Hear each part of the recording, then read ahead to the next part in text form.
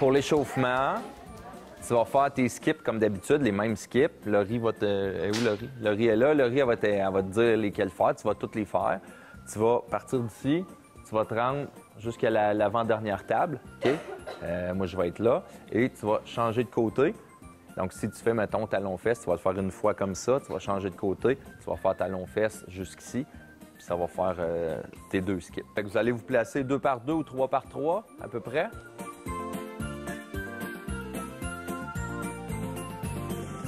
Bonjour, Toby. Bonjour, merci de me recevoir. Ça fait plaisir. Écoute, euh, j'avais hâte de parler d'athlétisme. Oui. Euh, c'est quelque chose qui me tient à cœur. Euh, je te vois aller depuis quand même un bon nombre d'années dans le domaine de l'athlétisme. Écoute, c'est quelque chose qui est... C'est une discipline sportive dans laquelle il y a beaucoup de petites choses différentes. OK? Euh, on dit souvent que l'athlétisme, c'est la discipline reine des Jeux olympiques, mais il y a... Sais, décathlon, c'est 10 disciplines.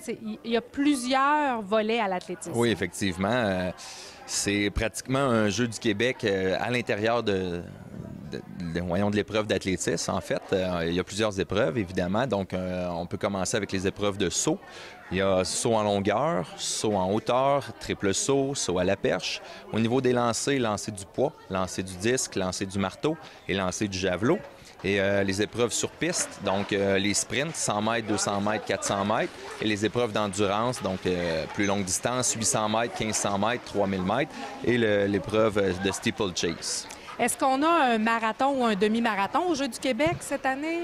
Non, il n'y a pas de hein? demi ou de marathon, étant donné l'âge des participants. Donc, ça serait une trop grande distance le à 3000 parcourir. mètres qui est la plus longue Qui est distance. la plus longue distance, effectivement. Ouais. OK. Donc, ça fait plusieurs donc, euh, volets à cette discipline-là. Oui.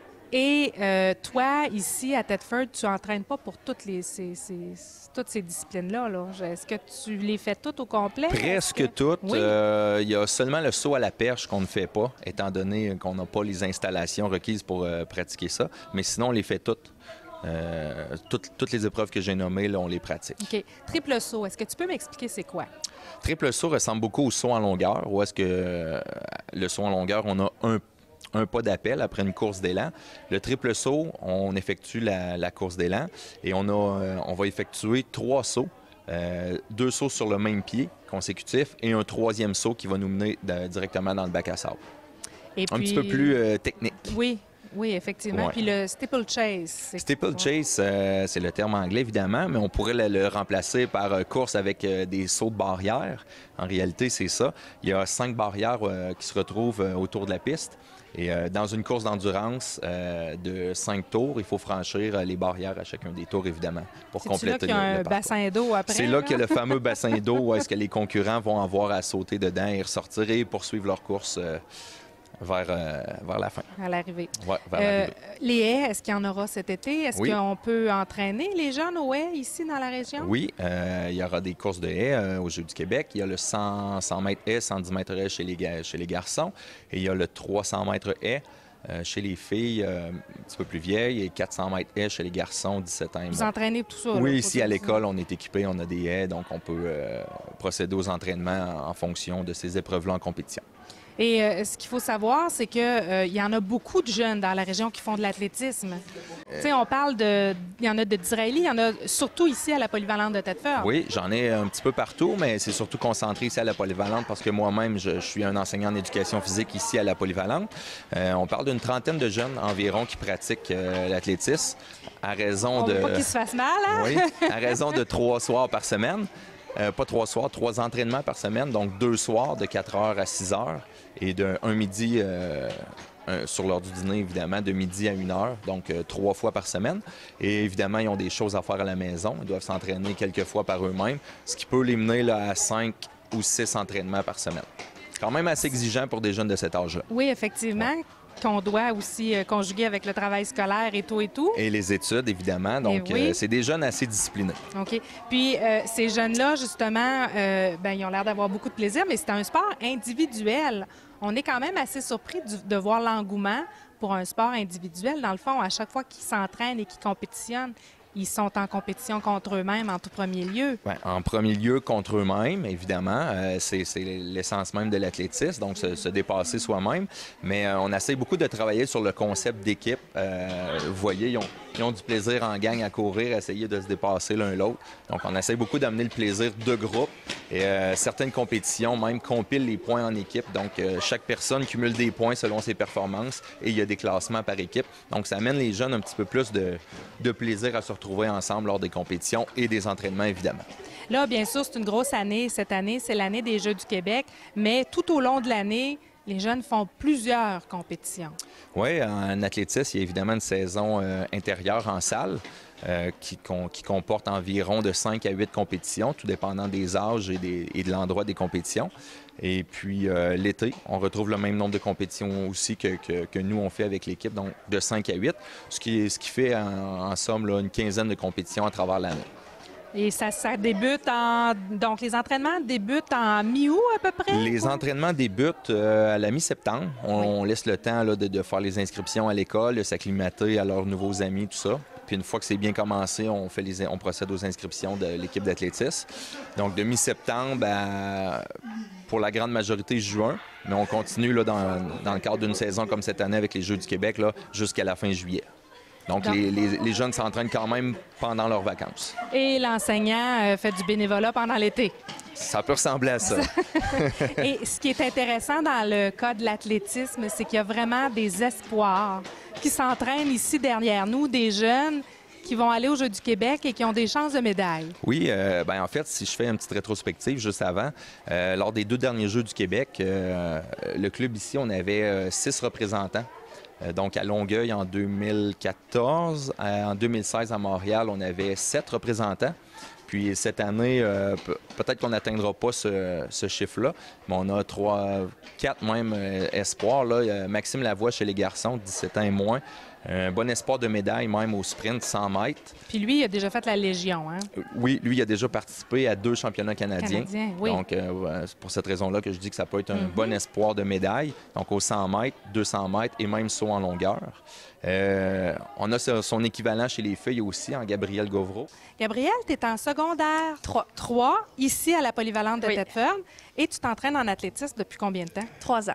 Donc, tu as commencé en secondaire 1. OK. Tu fais quelle discipline? Eh bien, je fais des sprints, le triple saut et la longueur.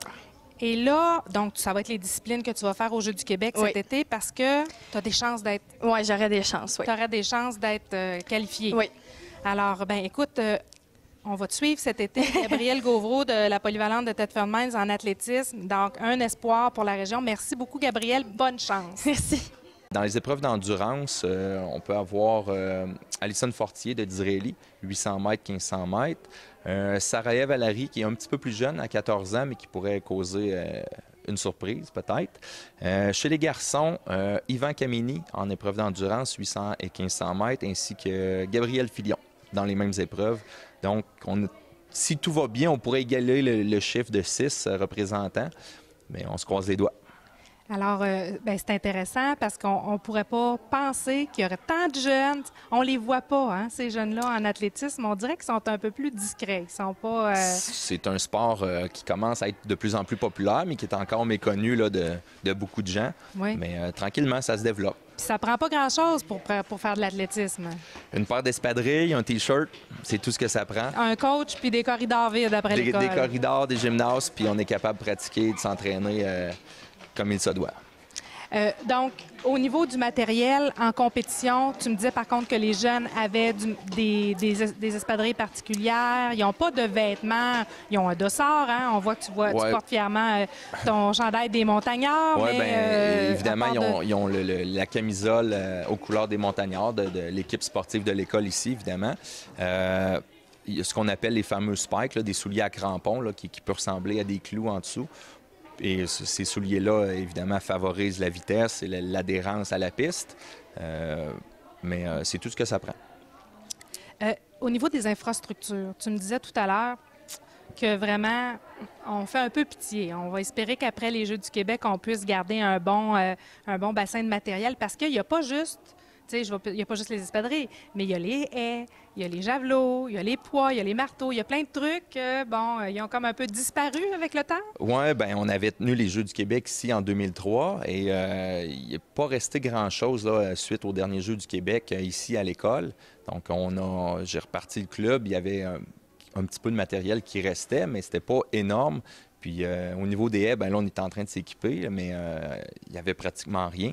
Donc euh, oui, on espère que ça va rester aller- après les Jeux. Puis nous, ça va nous donner un gros, euh, un gros coup de pouce là, pour euh, faciliter le travail des jeunes puis les entraînements, euh, évidemment.